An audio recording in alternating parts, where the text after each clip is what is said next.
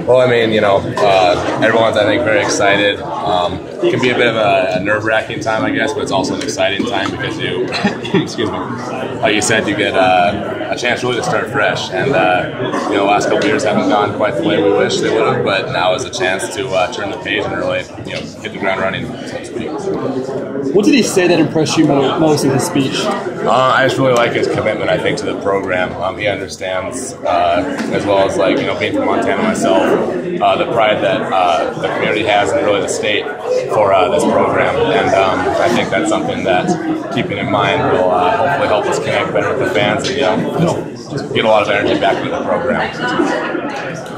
You mentioned that as a main goal, kind of getting the fan base back. What does that do for you as a player when you do have engaged fans? Uh, playing in front of a big crowd absolutely helps you. Um, you know, they provide energy. Um, and you know, there's a reason that, that way on the road is difficult, and when there's a great fan base, loud, energetic, that makes it that much more difficult as a road team. So uh, I feel like that, I feel that's to be a very difficult place to uh, to play in.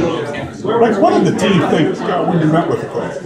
Uh, like I said before, we're pretty excited about it. Um, I should say very excited about it. Like uh, it's a fresh start for us. Um, we get to really kind of turn the page from you know kind of a rocky last year, I guess, on the I guess, and uh, we're just excited to uh, get this new start and uh, just kind of interject some some new energy into the program. What kind of energy does he bring?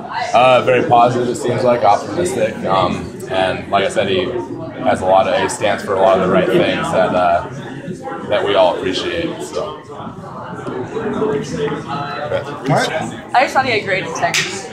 Uh, in the meetings, he really caught my eye. Uh, he was one of the ones that we interviewed that after our interview, after two hours were up, I was like, oh, I could I could listen to him for a few more hours about what he had to say. I think that uh, just his experience with uh, winning programs with great guys, and his head coach is an amazing guy, and I think that Peter ultimately made a great decision, and I, uh, I back him up on that. How did he How did he wow you when talking to you guys? I mean, how he? What was the big pop? What did he say to wow you? I mean, it wasn't just one thing. Uh, I kind of had this checklist in my mind that I thought our men's program needed to get us back on track, and he's going through. We didn't have to ask him every question, and like, oh, check, check, check, check, and he's just a great guy, and you could tell that he cared so much just from the two-hour meeting we had. When you saw him got emotional about being his first year as a, as a head coach, how did that make you feel?